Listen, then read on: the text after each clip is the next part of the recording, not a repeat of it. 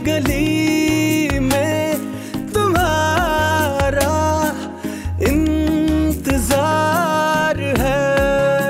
बस मेरे बच्चे, तू अपना दिल बुरा ना कर, है? बस। मैं सह ना सकूँ, देख। सह तो वो भी नहीं सकती जो शीरी ने कहा है। लेकिन मैं सोच रही थी कि उसे डांट डपट के उसका फैसला वापस ले लूँगी। लेकिन देख जो उसने कहा है ना, मैं माँ हूँ, मैं समझू। क्यों कहा उसने ऐसा? देख, माँ के जी को जो जो धड़का लग जावे ना तो मैं उसका इम्तिहान नहीं ले सकती। मुझे भी अम्मी से कोई गिला नहीं है नानी। पहले ये गुस्सा था कि शायद वो अपनी जिद में आकर ये सब कर रही हैं, पर वो तो मेरी मोहब्बत में कर रही हैं।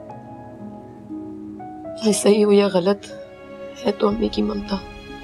तू फ़िक्र ना कर, बस। तू फ़िक्र ना कर। मैं उससे बात करूँगी, उसे समझाऊँगी, उसके दिल से वहम निकाल दूँगी। ये मुर्दार मुसरत मनहूस कहीं की। वही अपने नेस्ती ख्याल उसके दिमाग में डाल के गई है। उसकी तो अच्छी तरह खबर लूँगी मैं अच्छा? परेशान हूँ। और वो लौंडा, उससे भी बात करके देखूँ। मान जाए तो भला, है? नहीं नानी। जैसे मुझे आपसे अम्मी से मोहब्बत है, उसे भी अपने बाप दादा से होगी। जब मैं अम्मी को इम्तिहान में नहीं डाल सकती तो मैं उसे आजमाइश में कैसे डालूं?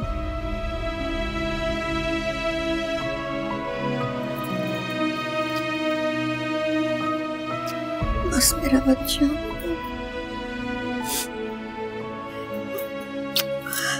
बच्चा। ये बहादुर बच्चे। जो है मैं मैं बात करूँगी, मैंने कहा है।